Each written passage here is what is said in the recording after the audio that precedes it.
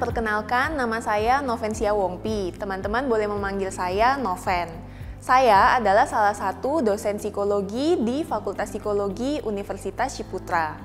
Pada semester depan, saya akan mengampu mata kuliah proses mental dan biopsikologi. Mata kuliah ini merupakan mata kuliah yang sangat dasar dalam ilmu psikologi, sehingga mata kuliah ini diberikan di semester 1. Di mata kuliah ini, teman-teman akan mempelajari berbagai macam aliran psikologi, mulai psikodinamika, behavioristik, humanistik, dan sebagainya. Selain itu, teman-teman juga akan mempelajari faktor biologis yang mempengaruhi perilaku individu, misalnya sensasi, persepsi, dan sebagainya. Capaian dalam mata kuliah ini adalah teman-teman harus mampu memberikan alternatif solusi dari berbagai permasalahan perilaku yang terjadi, Nah, salah satu contoh permasalahan perilaku yang sering terjadi adalah mispersepsi.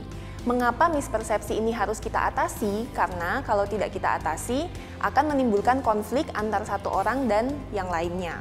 Subcapaian dari mata kuliah ini adalah yang pertama, teman-teman harus memahami dulu konsep-konsep dasar mengenai psikologi. Misalnya, faktor-faktor apa saja yang mempengaruhi perilaku.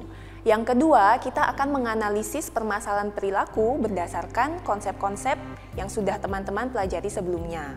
Setelah kita menganalisis, kita akan bersama-sama memberikan solusi bagi permasalahan perilaku tersebut. Untuk mencapai goal yang sudah saya sebutkan tadi, teman-teman akan diberikan sebuah tantangan. Tantangan ini akan dibagi menjadi dua tugas. Tugas yang pertama adalah teman-teman harus menganalisis diri teman-teman terlebih dahulu kemudian menentukan permasalahan yang teman-teman alami, kemudian menganalisis dan memberikan solusi buat permasalahan teman-teman sendiri. Tugas yang kedua, teman-teman akan lakukan secara berkelompok.